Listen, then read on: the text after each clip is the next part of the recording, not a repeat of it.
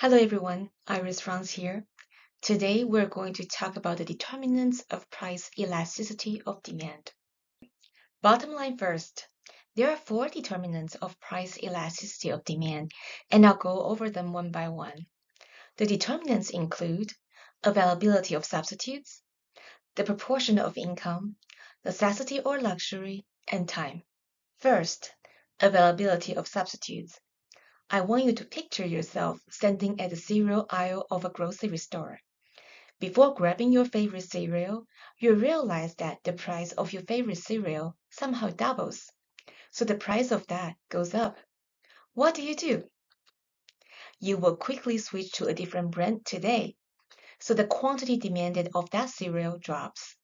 Why? Because there are so many substitutes of your favorite cereal. So there you have it. The more substitutes you have, the higher the price elasticity of demand. The second determinant is proportion of income. Suppose the price of table salt doubles. What do you do? Are you going to say, Oh my gosh, the price of salt doubles. I better start to save on table salt. Of course not, because salt is so cheap that it only uses a tiny proportion of your income.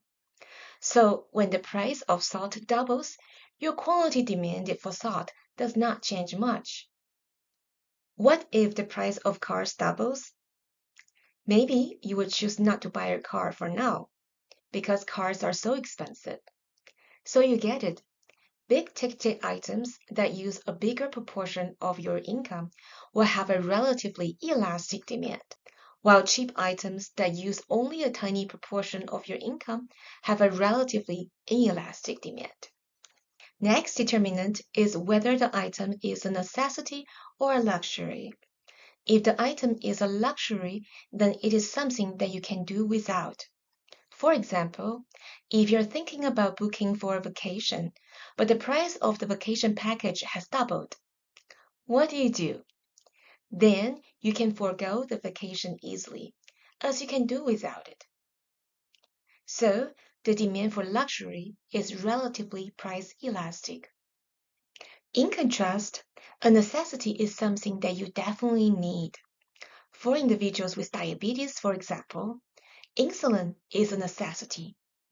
If the price of insulin doubles, then diabetic individuals still have to buy the drug just to survive. Therefore, the demand for necessities are price inelastic. Notice that patients' inelastic demand for medical services and medications has a very dire implication on the pricing strategies of hospitals and pharmaceutical companies.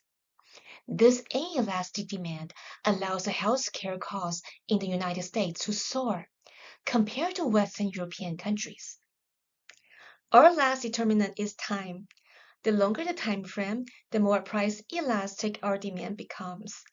For example, if the price of gasoline increases, then in the short run, you cannot easily adjust your quantity demanded for gasoline.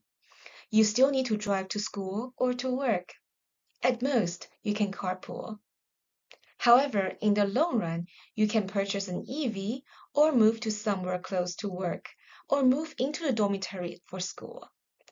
Therefore, the more time we have, the more price elastic our demand becomes. To summarize, here are the four determinants of price elasticity of demand. Availability of substitutes, the proportion of income, necessity or luxury, and time. The more substitutes are available, the higher the price elasticity of demand. The larger proportion of income and item costs, the higher the price elasticity of demand. A luxury, something we can do without, has a higher price elasticity of demand than a necessity. Finally, the more time one has, the higher the price elasticity of demand. This concludes the determinants of price elasticity of demand.